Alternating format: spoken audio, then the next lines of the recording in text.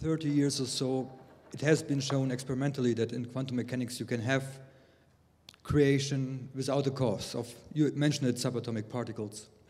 And at the very beginning of the universe, as you also said, the universe itself was subatomic.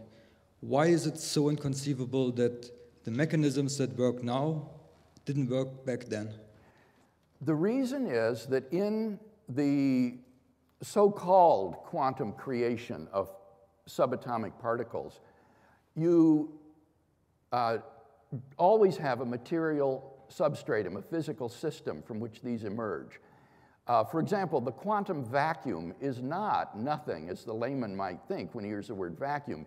It is a sea of roiling energy, and the particles uh, come out of the vacuum, so that the vacuum is the cause of the existence of these particles. In the case of the universe, however, as we just discussed a moment ago, we have an absolute beginning of all physical reality, um, so that there isn't any sort of um, prior uh, thing that could serve as a quantum um, substratum for the creation of the universe.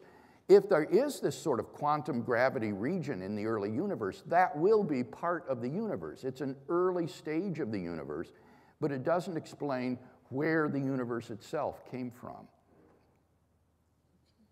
I should also just add one other point, and that is this appeal to these quantum processes simply um, assumes without justification that quantum indeterminacy is real rather than merely epistemic in your mind. But there are at least 10 different interpretations of quantum physics, some of which are thoroughly deterministic. And all of these are empirically equivalent and mathematically consistent. In fact, it is only the deterministic interpretations that are uh, compatible with quantum cosmology so that there is no justification for assuming that even in the case of quantum creation of particles, this is indeterminate and that they do not have deterministic causes.